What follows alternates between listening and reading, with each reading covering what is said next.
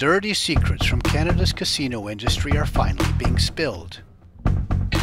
Stories of outrageous money laundering, of suspected crime money coming into government run casinos, hundreds of thousands of dollars at a time, most of it in $20 bills, night after night, by high rollers connected to gangsters. And no one did much about it.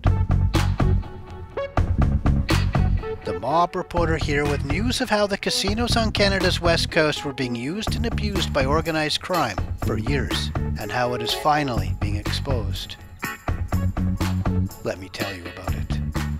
The province of British Columbia on Canada's beautiful west coast is in the midst of a reckoning, facing how it allowed its popular casinos to fall under the spell of transnational organized crime, particularly at the destination casinos around Metro Vancouver.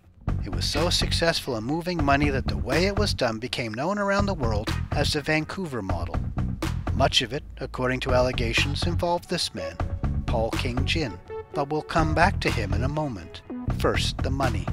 Hundreds of millions of dollars in questionable money was being pushed through cashier slots at BC's casinos.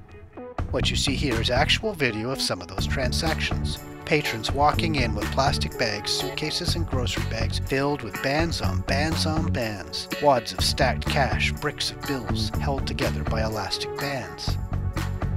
The money was hardly ever refused. One former head of security said if a customer had identification, he could only think of a couple of times the cash was turned away, once when it was covered in blood, another when it was partially burned.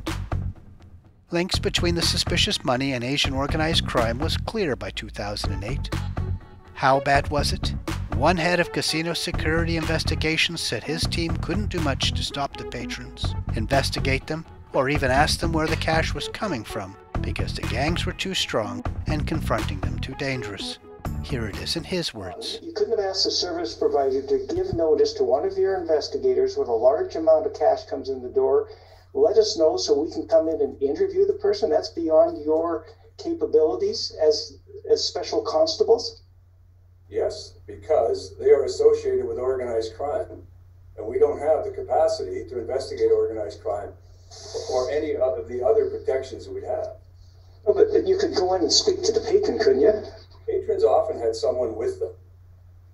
And again, nearby there was usually somebody that was that was uh, uh, there uh, just to watch over. The use of government licensed casinos for money laundering is currently under public scrutiny.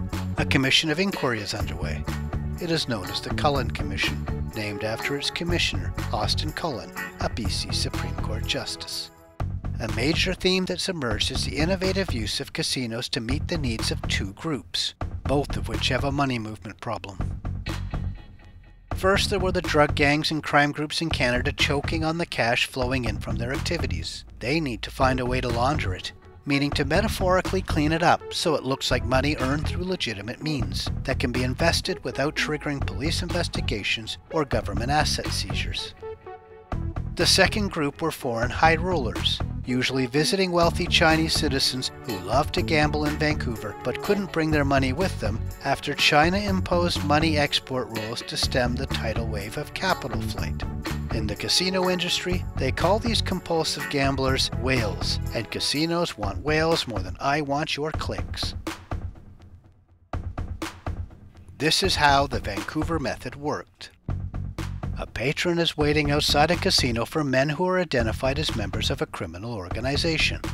A gangster arrives with two plastic bags full of cash, and the two go into a restaurant beside the casino to try to avoid the casino's security cameras.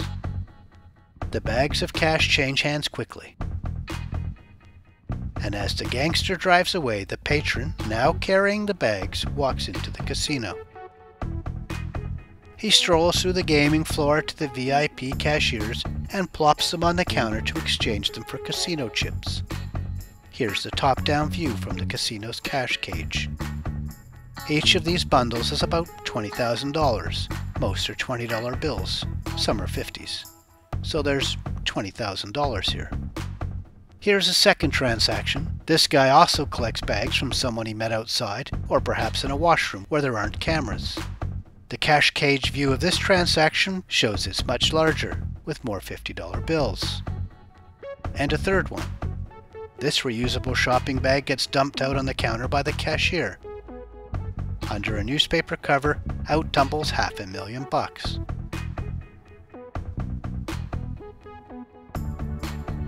And finally, here's a million dollar transaction. Two men carrying two bags, and they look heavy. And this happened over and over, almost each day, for years. The scheme shows the ingenuity and global reach of the gangsters.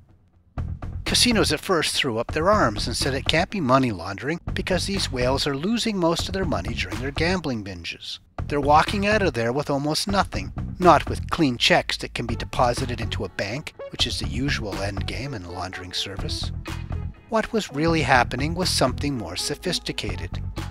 The gamblers, the ones going into the casino with the bags of cash, weren't really there to launder the cash. They just wanted to play. But for those coming from cash restrictive countries, such as China or Iran, they can't bring suitcases of their own cash like they used to. So they pick up the cash in Vancouver. They first must pay for it by moving the money from their bank account in China to another account within China, one that's controlled by the gangsters in Canada or by their associates. Once the gangsters in Vancouver get word that the money's arrived in China, they give the patron the equivalent amount in Canadian cash, which is allegedly the proceeds of their own crime. The money, in essence, moves between countries without ever crossing a border. The Cullen Commission has heard allegations that much of the money was linked to Paul King Jin. The 51 year old Jin is described as a well known loan shark. He is suspected of deep ties to gambling and to the running of an underground bank, the kind of underground bank used to facilitate the Vancouver method of money laundering. Jin is a former championship boxer from China, according to reporting by my friends and colleagues at the Vancouver Sun. He immigrated to Canada in 1989, living first in Montreal, then in Toronto, before settling on the West Coast. He opened a spa and later a large gym, fitness, and boxing club. He became a Canadian citizen a few years after arriving here. Police found more than $4 million cash in a safe in his apartment in 2015, and he once told an officer, my name is Money.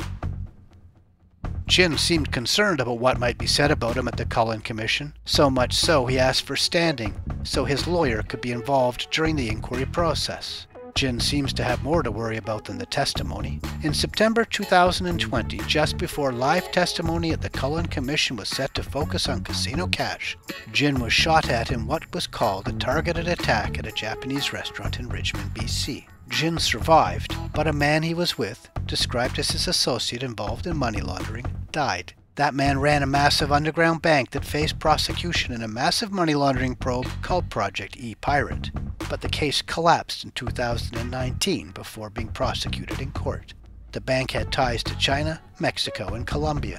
Jin still faces civil forfeiture actions by the province, targeting his gym. He has denied the allegations against him. After weeks of testimony on the casinos, a picture emerges of gaping holes in regulation and enforcement, of a reluctance to risk hurting profits by cracking down on suspicious transactions, and of ignorance, perhaps willful ignorance, to what was really going on. The Cullen Commission hearings continue. The Commission is expected to make recommendations, and who knows, it may bring about change. Bulk cash transactions, meanwhile, were banned at BC casinos at the end of 2018. The question still remains of what damage was caused by more than a decade of virtually unrestrained money laundering, money coming in and going out with a stamp of approval by the government.